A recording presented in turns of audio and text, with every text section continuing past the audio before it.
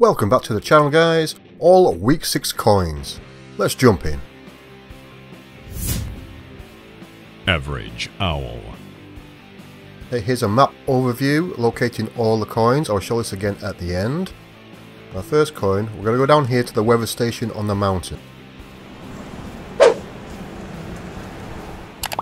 So jump in and you're looking for that little building. Once you're inside, you will find a blue coin in the desk. Our second coin now is just north of Lazy Lake in this little area here.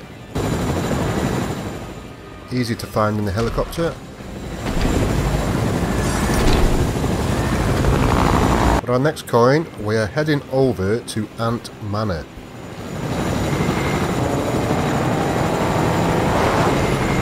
Go inside the dog kennel and you will find it in the hole at the back. Down here now to the Fortilla. Now this one was a bit of a pain to find. You'll find it in that barrel up there on the outside of the building.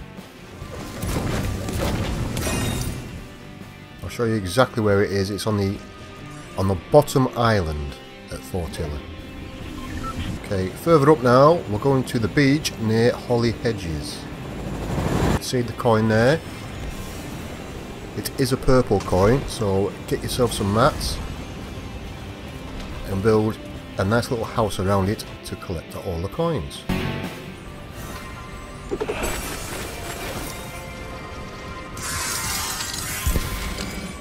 Okay, that one's done, so we are heading up here now to Salty. I'm actually landing in the wrong place here. It's one of the first houses you come to. If you look up near the trees, you'll see it up there. You'd probably be able to get it in the helicopter, it may be easier. Just chop the trees down with the blades. That's that one done. Next, we're going to the left hand side of Doom's Domain. It's in this little canyon type area. Green coin, nice and easy to find. Back to the beach now. We're going to the right of Craggy Cliffs. It's near the area that they've called Launchpad. Another nice easy one to find.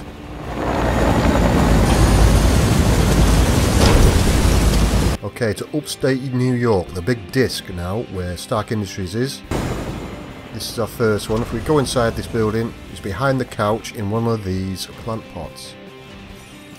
Staying at upstate New York, a bit further on in these trees, we come to a purple coin. Again, build yourself a little house to collect everything. And that will be challenge complete. Thanks for watching guys. Please give the video a thumbs up if it helped. And I'll catch you next time.